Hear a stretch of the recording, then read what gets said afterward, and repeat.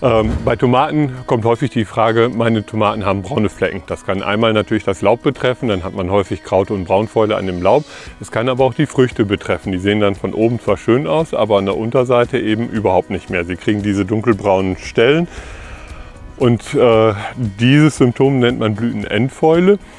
Das ist eigentlich keine wirkliche Fäule, sondern ein physiologischer Kalziummangel. Äh, der daher rührt, dass nicht genügend Kalzium mit dem Saftstrom in diese Früchte hineinkommt, sich dann die Zellwände der Pflanze nicht ordentlich ausbilden können und vertrocknen und verkümmern und ebenso äh, dunkelbraun werden. Die äh, Früchte sind deshalb im Prinzip nicht äh, ungenießbar und schlecht, aber sie sind halt vorne hart und eingetrocknet, deshalb im Allgemeinen nicht mehr zum Verzehr geeignet.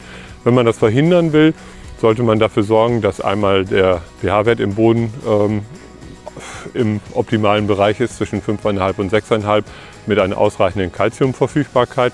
Das kann man durch eine Kalkung fördern. Wichtig ist dann allerdings eine gleichmäßige Klima- und Wasserführung im Boden, damit äh, dieses Kalzium auch in die Früchte hineintransportiert werden kann. Und ähm, man sollte sie dann nicht ähm, zu stark austrocknen lassen und auch nicht zu stark für Schwankungen im Wasserhaushalt sorgen, sondern für eine etwas gleichmäßigere Kultur. Musik